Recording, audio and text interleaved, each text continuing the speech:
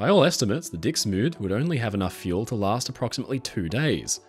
The crew fought bravely against strong winds, thunderstorms, and an airship with dwindling fuel supplies, while the commander searched desperately for a place to land.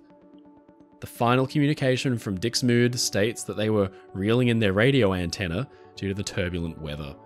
And seven hours later, the Dixmude would be spotted falling from the sky by rail workers whose attention had been caught by a sudden flash that lit up the night sky. Stories began to spread through the press of the airship having been spotted in different locations by eagle eyed sky watchers, and hope remained high for the eventual arrival or recovery. However, on December 26th, three days after the final radio communication from Dixmude, the body of her commander, Duplessis, was recovered by a fisherman on the coast of Sicily. There could be no more denying it. The Dixmude had gone down, taking the lives of all 50 souls aboard her.